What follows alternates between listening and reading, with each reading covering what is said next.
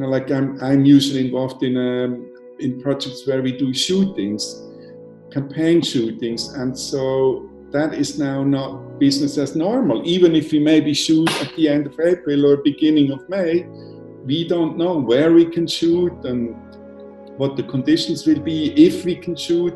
So we have to think with these projects because the communication has to be done. So we have to think of alternative ways of communicating the message, and that, that I find very, very interesting, very challenging in a positive way. Amateur, you know, that this kind of amateur feeling is now because of the technical conditions we're in is perfectly okay.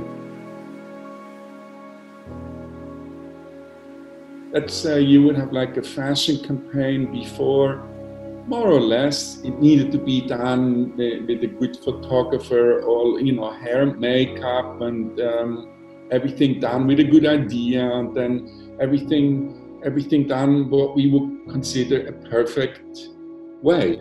And that was something important to all of us. we call it kind of in a, in a nicer word, excellence. You know, when you want to do something, be really good. And I think that is now not so, at the moment, not so relevant anymore, and it might never be as relevant anymore. So it's more about the actual context, the authenticity of something,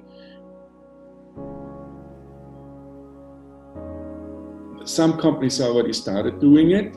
Uh, fashion companies, they would just send the clothes home to their top models they're working with, and they they they can style and dress themselves and set their own light, or their brother or whatever, or their mom or their boyfriend can shoot it.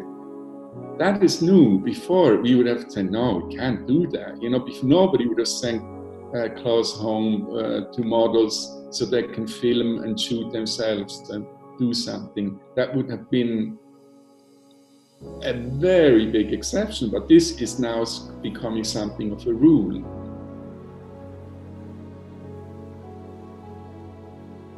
It will be very strange now going into this, you know, when you see this kind of amateur look or look and feel and it doesn't just go into fashion, it will touch in every aspect of all communication.